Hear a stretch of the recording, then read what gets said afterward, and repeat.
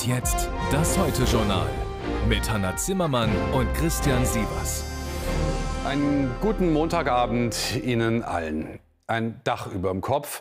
Das gehört zu den absoluten Basisnotwendigkeiten für uns Menschen. Bezahlbares Wohnen halten die Parteien durch die Bank für die soziale Frage des 21. Jahrhunderts.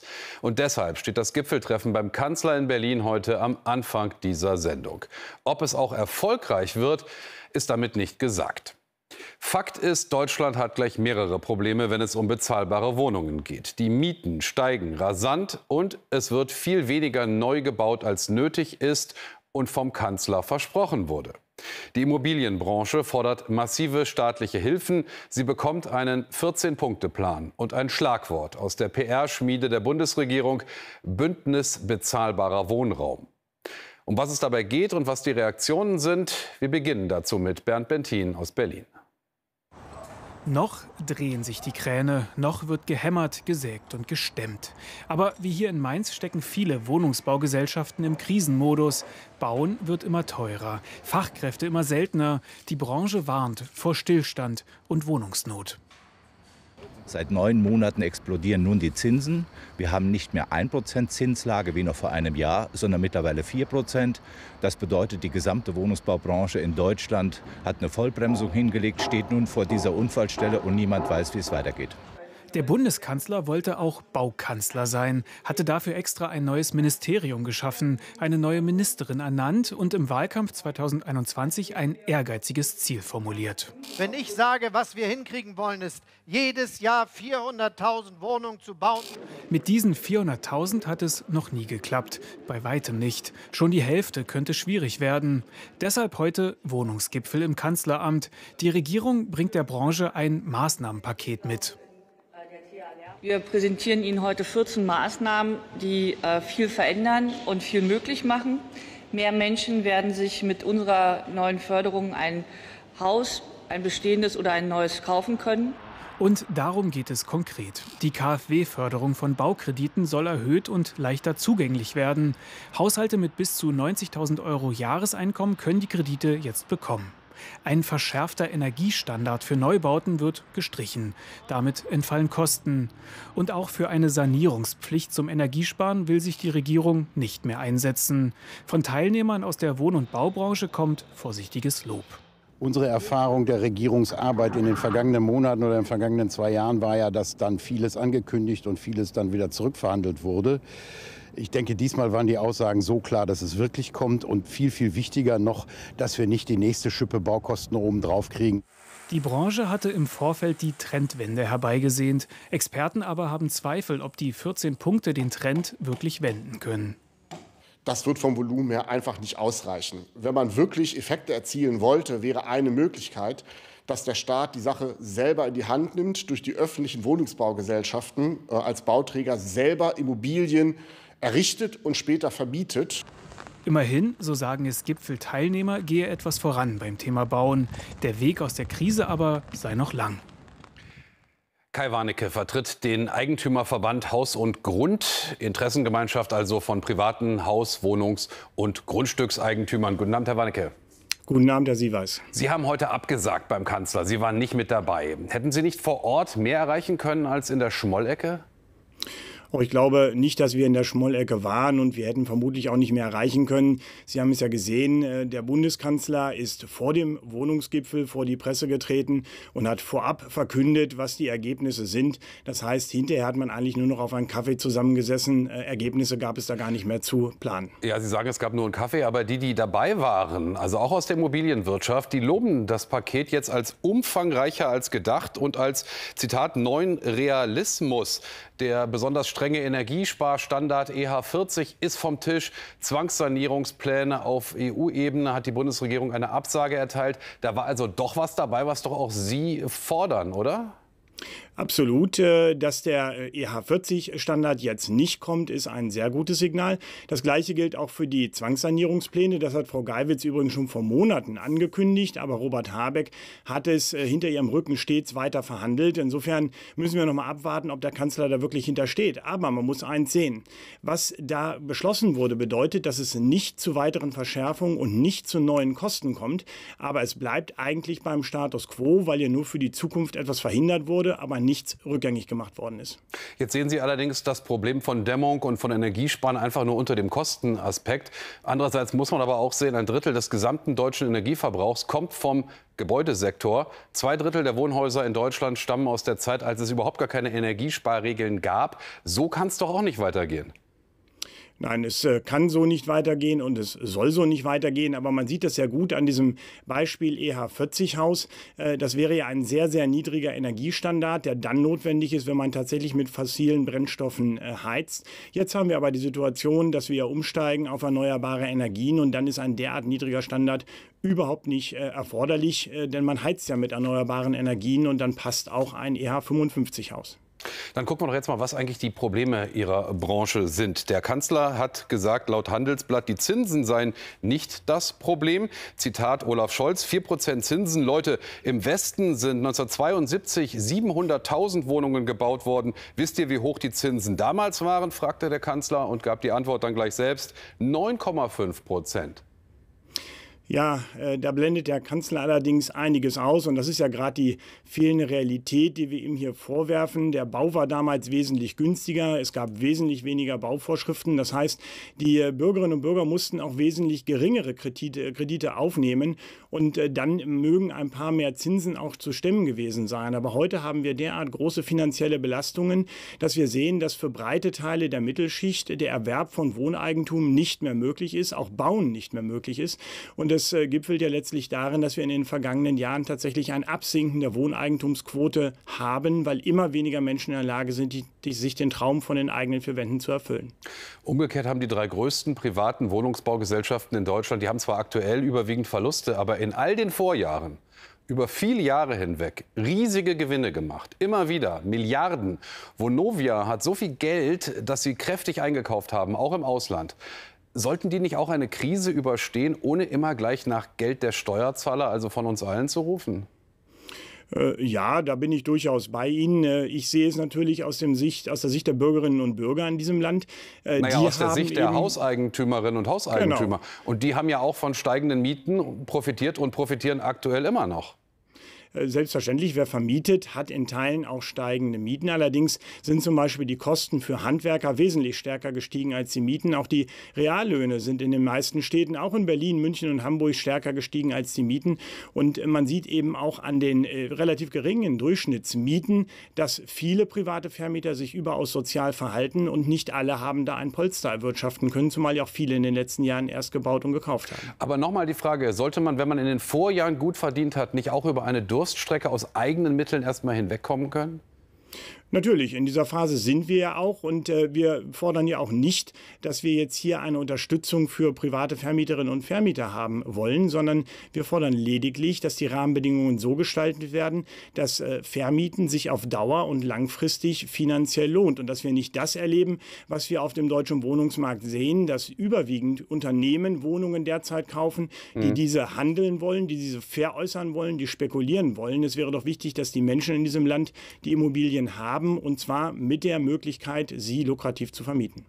Sagt, sagt äh, Kai Warnecke, der vom Eigentümerverband Haus und Grund. Herr Warnecke, herzlichen Dank für das Gespräch heute live aus Berlin. Vielen Dank, Herr Sievers. Danke.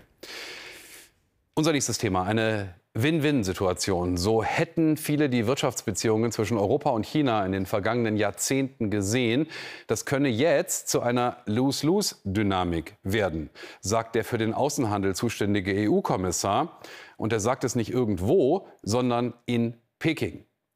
Der Besuch aus Brüssel hielt sich also nicht lange mit Höflichkeiten auf, denn einerseits ist der EU-China-Handel wichtiger denn je, andererseits immer stärker politisch aufgeladen und befrachtet mit Fragen und Befürchtungen. Florian Neuhan. Nehmen wir zwei Elektroautos. Ein chinesisches und ein deutsches. In den Werbespots ähnlich angepriesen, in der Leistung vergleichbar. Nur beim Preis ein klitzekleiner Unterschied. Hier der ID3 von Volkswagen für 39.990 Euro. Dort der MG4, das vergleichbare chinesische Modell, nur 31.990 Euro. Die chinesischen Autobauer, die verfolgen jetzt eben eine sehr ambitionierte Wachstumsstrategie. Die wollen hier eben schnell Marktanteile in Europa generieren, bieten da eben ihre Fahrzeuge auch dann eben zu diesen günstigeren Preisen an. Chinesische Elektroautos überschwemmen Europa. Es ist ein Horrorszenario, das die EU-Kommission an die Wand malt. Aktuell kommen zwar nur 8 Prozent der in Europa verkauften Elektroautos aus China. 2020 aber waren es noch quasi null. Und in zwei Jahren, sagt die Behörde, könnten es doppelt so viele sein wie heute. Weil China, so der Verdacht, die Autos mit hohen Subventionen unfair auf Europas Markt drücke. Auch darüber redet Europas Handelskommissar heute in Peking. Die EU begrüßt Wettbewerb. Er macht unsere Unternehmen stärker und innovativer. Allerdings muss der Wettbewerb fair sein. Und gegen Unfairness werden wir jetzt selbstbewusster vorgehen. Zum Beispiel mit einer offiziellen Untersuchung der chinesischen E-Auto-Subventionen. An deren Ende könnte man Strafzölle verhängen. Also nicht wie aktuell 10 Prozent, sondern eher wie die USA fast das Dreifache. Für manche klingt eher das wie ein Horrorszenario. Die deutsche Industrie und nicht nur die Autoindustrie ist von Exporten abhängig. Über 70 Prozent unserer Arbeitsplätze hängen am Export. Das heißt, Maßnahmen wie Zölle können zu Gegenmaßnahmen führen. Es ist diese Drohung, die der Gastgeber heute in Peking nicht direkt ausspricht, aber die auch in chinesisch freundlicher Form mitschwingt. Wir haben unsere große Sorge und Unzufriedenheit über die Subventionsuntersuchung zum Ausdruck gebracht. Wir hoffen, dass die EU Vorsicht walten lässt und ihren Markt offen hält. Europa will sich wehren, idealerweise ohne sich ins eigene Fleisch zu schneiden. So, jetzt bei uns Duhana mit der weiteren Weltlage. Ja, die Ukraine hat nach eigenen Angaben den Kommandeur der russischen Schwarzmeerflotte getötet. Er soll bereits am Freitag bei einem Drohnenangriff auf das Hauptquartier der Flotte in Sevastopol ums Leben gekommen sein. Insgesamt seien 34 russische Offiziere getötet worden. Von russischer Seite gibt es dazu bisher keine Bestätigung. Russland griff in der Nacht unterdessen ein weiteres Mal die Hafenstadt Odessa an. Laut Ukraine wurden dabei unter anderem ein Hotel und der Hafen getroffen. Mindestens zwei Menschen seien ums Leben gekommen.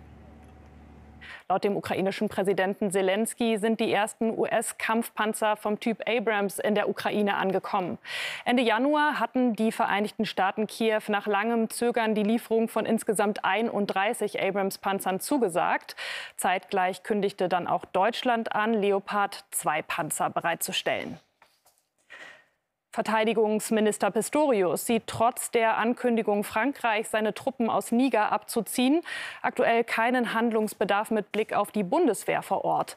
Man habe die Sicherheit im Auge, fügte er hinzu. Gestern Abend hatte der französische Präsident Macron den Abzug aller 1500 französischen Soldatinnen und Soldaten angekündigt. Deutschland hat aktuell rund 100 Soldaten in dem westafrikanischen Land stationiert. Vor knapp zwei Monaten hatte sich das Militär in Niger an die Macht geputscht. Der baden-württembergische Vizeregierungschef Strobel hat seinen Rückzug vom CDU-Landesvorsitz angekündigt. Beim Landesparteitag im November werde er auf eine erneute Kandidatur verzichten. Strobel ist seit 2011 Landesvorsitzender. Seine Ämter als Innenminister und stellvertretender Regierungschef will er behalten. Als möglicher Nachfolger nannte Strobel den Vorsitzenden der CDU-Fraktion im baden-württembergischen Landtag Manuel Hagel.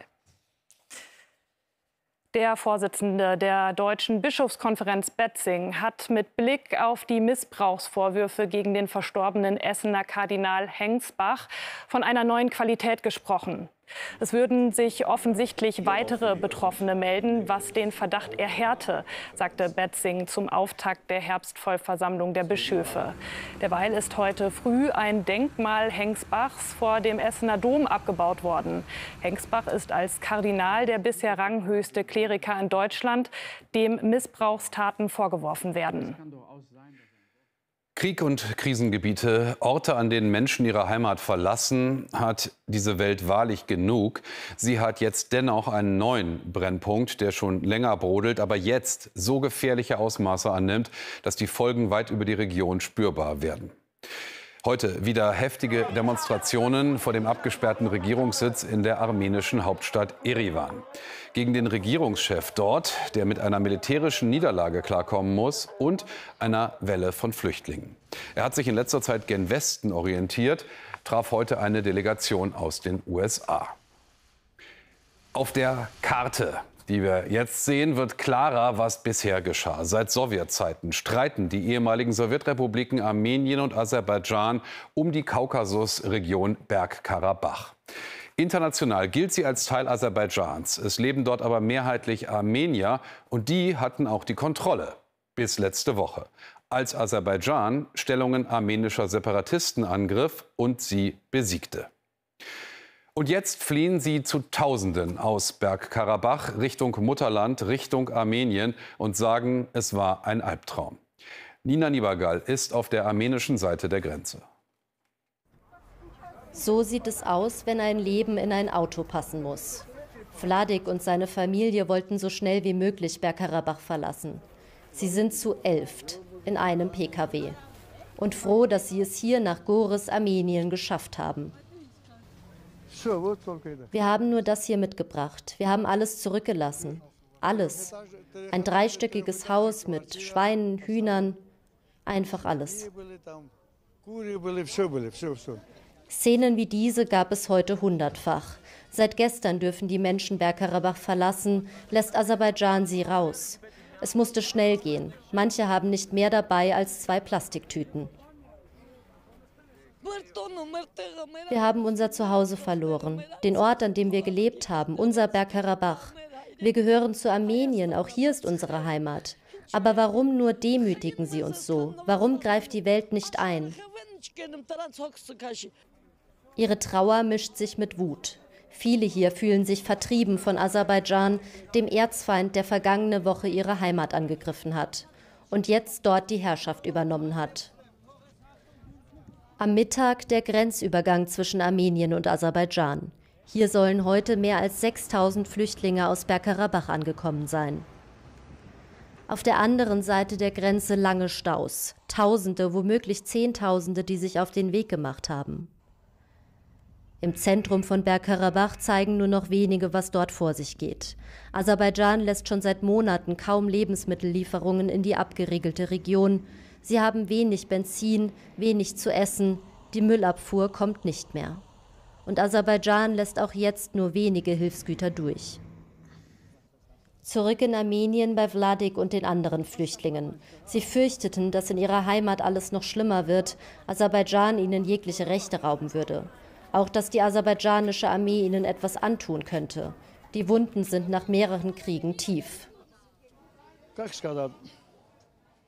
Es ist einfach unmöglich. Wir würden niemals zurechtkommen mit ihnen. Wir können uns das überhaupt nicht vorstellen. Bleiben war keine Option, so sehen das viele hier. Vorerst werden sie nun im Theater der Stadt Goris versorgt. Wie es danach weitergeht, das weiß hier wohl kaum jemand. Eine wichtige Rolle spielt Russland bei alledem. Langjährige Schutzmacht von Armenien, das aber heute auffällt mit drohenden Worten in Richtung der armenischen Regierung. Armin Körper ist unser Korrespondent in Russland. Armin, guten Abend. Die Menschen, wir haben es gerade gesehen, sie fliehen mit dem wenigen, was sie am Leibe tragen, weil sie Angst haben vor der Zukunft unter aserbaidschanischer Herrschaft. Will Russland den Armeniern jetzt nicht mehr helfen oder kann es das nicht? Ich denke, Russland hat entschieden, den Armeniern nicht zu helfen. Und wahrscheinlich erscheinen ihnen einfach die, pa die Gegner Armeniens, nämlich Türkei und Aserbaidschan, im Moment nützlicher. Armeniens Regierungschef Nikol Pashinyan hat gestern eine neue Linie in der Sicherheits- und Außenpolitik seines Landes vorgegeben. Er hat die Allianz mit Russland als nutzlos bezeichnet und hat gesagt, das Land sucht neue Partner im Westen. Russlands Außenminister Lavrov hat darauf heute prompt geantwortet. Er hat Pashinyan als unfähig und unzuverlässig bezeichnet, als einen Mann, der schon die ganze Zeit mit dem Westen geflirtet hätte. Bei all dem darf man eins nicht falsch verstehen. Der Kreml hat heute Armeniens Regierungschef Pashinyan final fallen gelassen. Das heißt aber noch lange nicht, dass er das Land Armenien aus der Umarmung freilässt. Armin, das ist sehr interessant, was du da gerade sagst. Und da könnte man ja durchaus auch ein paar Parallelen äh, zur Ukraine sehen. Ähm, was ist denn die Langfriststrategie von Präsident Putin? Also ganz konkret, ist denkbar, dass er versuchen könnte, Armenien die Unabhängigkeit zu nehmen? Also ich bin mir sicher, dass das, was da jetzt in Bergkarabach passiert ist, alles unter Beteiligung des Kreml passiert ist, die Planung und vor allem das Timing. Es ist kein Zufall, dass die Ereignisse in Karabach eskaliert sind, genau als der Ukrainer Zelensky vor den Vereinten Nationen in New York die Welt um militärische Hilfe angerufen hat. Es kann sein, dass Präsident Putin einfach die Aufmerksamkeit von der Ukraine ablenken wollte. Es kann aber auch sein, dass er den Westen warnen wollte. Seht her, es gibt noch andere Krisenregionen in der Region, Region und auch die könnten militärische Hilfe von euch haben wollen. Das wissen wir nicht. Ähm, fest steht, dass äh, Armeniens Premier Pashinyan äh, einen ähnlichen Zickzackkurs gefahren hat, wie es die politischen Führer der Ukraine in der Vergangenheit auch getan haben. Einen Zickzackkurs zwischen Ost und West. Er hat sich sicherheitspolitisch in den Armen des Kreml gewiegt und Zeit gleichzeitig von dort mit dem Westen geflirtet. Dass das ein gefährliches Spiel ist, hat der Kreml einmal mehr gezeigt. Wie weit man jetzt mit dieser Demonstration gehen kann und will, das weiß heute Abend außerhalb der roten Kremlmauern hinter mir wahrscheinlich niemand. Interessante Analyse, Armin. Herzlichen Dank dafür. Und dann noch diese Meldung zum Thema, die seit einigen Minuten bestätigt ist. Meldung aus Bergkarabach. Danach ist bei einer Explosion in einem Treibstoffdepot nach Angaben lokaler Stellen sind mindestens 200 Menschen sollen verletzt worden sein. Auch von Toten ist die Rede. Viele Menschen sollen dort auf Benzin für ihre Flucht gewartet haben. Was die Explosion auslöste, ist im Moment noch unklar. So viel zu diesem wichtigen Thema heute Abend. Und jetzt nochmal du, Hanna. Nicht nur der deutsche Wohnungsbau war heute Thema eines Gipfels, auch die deutsche Luftverkehrsbranche traf sich heute mit dem Kanzler. Zentrale Frage dabei, wie kann die Luftfahrt klimaneutral werden? Valerie Haller, konnte der Gipfel dazu heute konkrete Antworten liefern?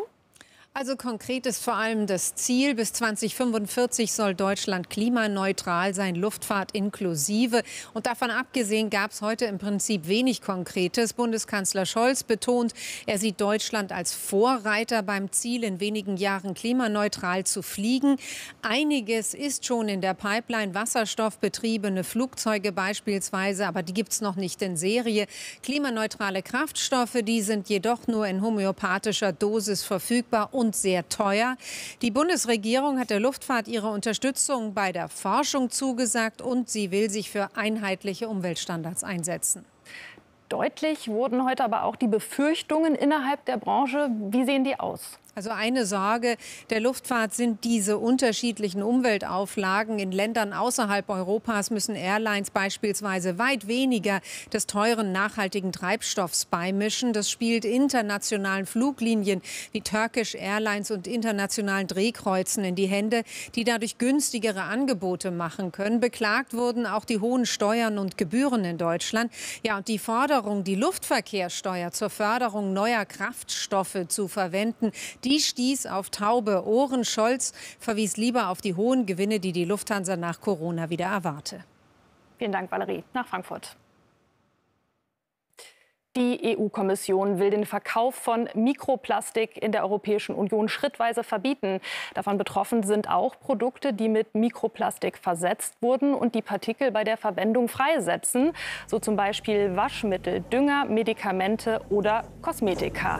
Einige der Maßnahmen sollen bereits am 15. Oktober greifen. Durch das Verbot will die EU die Verschmutzung der Umwelt reduzieren.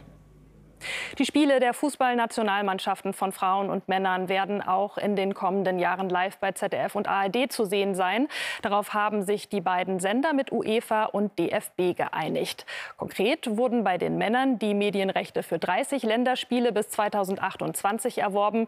Bei den Frauen sind es alle Länderspiele bis 2027. Darunter die Nations League und die Vorbereitungs- und Qualifikationsspiele für WM und EM. Die deutsche Rodlerin Nathalie Geisenberger hat das Ende ihrer sportlichen Ausnahmekarriere bekannt gegeben. Mit sechs olympischen Goldmedaillen ist die 35-Jährige die erfolgreichste deutsche Winter-Olympiateilnehmerin der Geschichte. Zudem war die gebürtige Münchnerin neunmal Welt- und siebenmal Europameisterin. Ihr Weltcup-Debüt gab Geisenberger 2007 in Altenberg und gewann seither achtmal den Gesamtweltcup. Das ist ein Roman für lange Gespräche. So schön steht es in der Begründung für den Deutschen Buchpreis. Die Geschichte einer Frau, die nach dem Zweiten Weltkrieg scheinbar grundlos ihren kleinen Sohn an einem Bahnhof in der Provinz zurücklässt und einfach geht. Das Buch Die Mittagsfrau ist alles andere als leichter Stoff zum mal eben nebenbei lesen. Es wurde ein Bestseller, über eine Million Mal verkauft. Der Film Die Mittagsfrau kommt jetzt bundesweit in die Kinos, mehr als 15 Jahre später. Und will das auch schaffen, eine Geschichte erzählen, die bleibt. Nadja Nasser.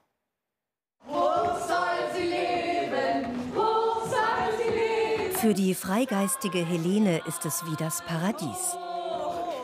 Und jetzt kommen die Haare ab. Das Berlin der wilden 20er Jahre.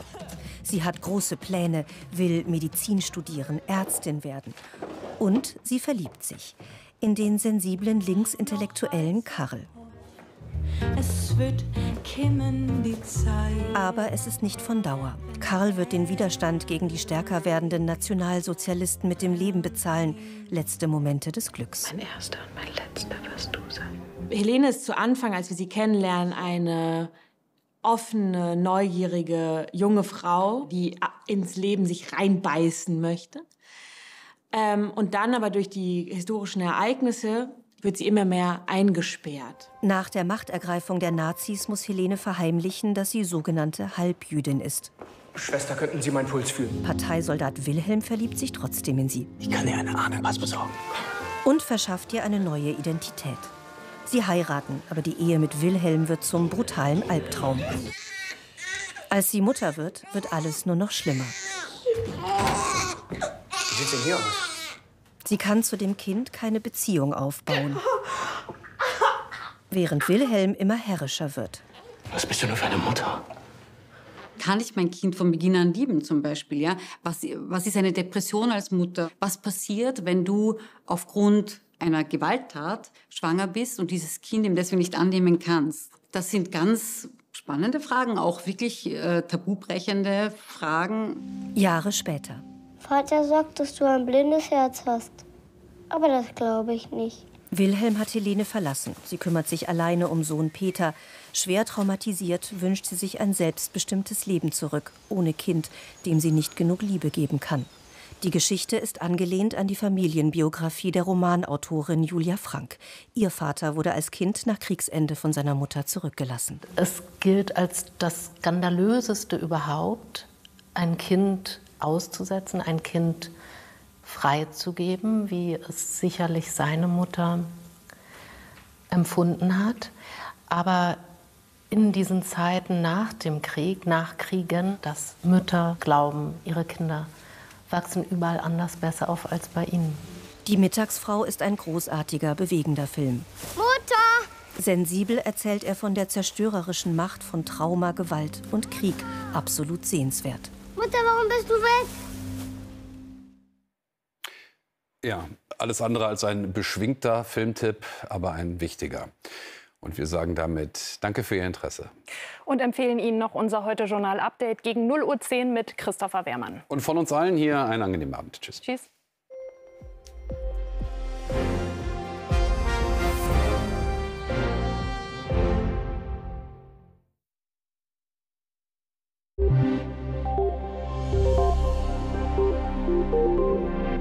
Schönen guten Abend und herzlich willkommen zum Wetter. In Griechenland hat sich schon wieder ein Tief festgesetzt und das bringt hier große Regen mit sich. Und das Tief nutzt wieder die Wärme des Mittelmeers und so gibt es hier Regenmengen von gut 200 Liter auf den Quadratmeter in den nächsten Tagen. Ansonsten herrscht hoher Luftdruck und so steigen die Temperaturen wieder weiter an. In der Nacht gibt es erstmal Nebel, der kann örtlich schon mal dichter sein. Teilweise funkeln die Sterne nach Norden hin, sind die Wolken allerdings auch mal kompakter. Bei tiefsten Temperaturen von 2 bis 3 Grad hier, also schon deutlich kälter, 11 bis 12 Grad an den Küsten. Ja, und morgen gibt es erstmal viel Sonnenschein von der Früh weg. Örtlich muss sich der Nebel noch auflösen. Am längsten dauert das hier im Südosten. Und dann kommt aber auch hier die Sonne hervor. Die Temperaturen steigen auf 25 bis 27 Grad im Osten. Hier also schon mal ein Sommertag. Ansonsten liegen wir knapp darunter, aber insgesamt ist das schon relativ warm morgen. 20 Grad am Alpenrand. Hier ist es am kühlsten. Die nächsten Tage, die Sonne bleibt uns meist erhalten. Erstmal muss sich der Nebel auflösen. 20 bis 27 Grad am Mittwoch. Donnerstag ähnliche Temperaturen, weiterhin Nebel. Und Freitag gibt es hier und da einzelne Schauer, die durchziehen. Temperaturen ähnlich bei 19 bis 27 Grad. Und damit wünsche ich Ihnen einen schönen Abend.